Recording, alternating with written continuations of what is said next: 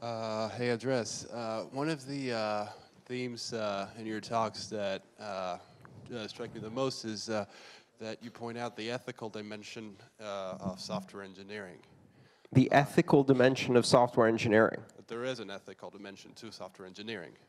That, that there is an ethical dimension to software Yes, engineering. yes, absolutely. Um, could you expand a bit on that, and could you give us maybe some examples of ethical uh, Bitcoin software engineering and unethical software engineering, according to you?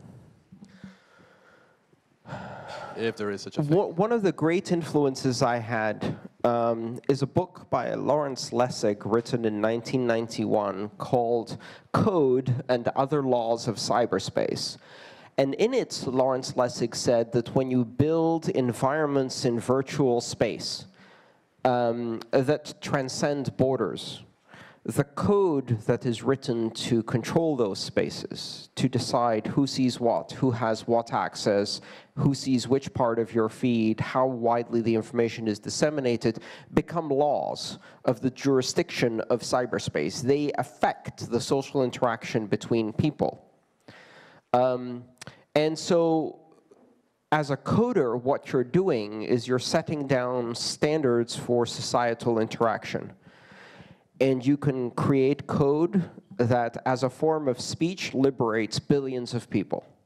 And you can create code that creates a totalitarian, dystopian, fascist nightmare. Um, if you write code that supports surveillance and gross violation of the rights of others, you are working for the wrong team, right?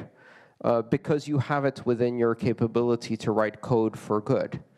And there's so many ways to do that today. It's no longer difficult. You can write code in the public domain and open source openly and, and in collaborative fashion with thousands of other people around the world. I am terrified of some of the laws that are being set in code by some of the social media services. I won't mention any. I'm not a member. Um, because what they do is they are beginning to shape social interaction in a way that is completely out of control. And so code has an ethical responsibility because in the end, code is speech. And it is one of the most political forms of speech because it is hugely inspiring and empowering. Um, and choose what you say in code because one day your code may be running on millions of systems and be used by billions of people.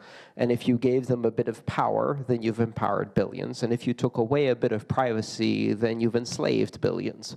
And there are very few domains in our world where an individual can have that kind of power. So yes, I, I believe the ethical responsibilities you have as a coder are, are very high.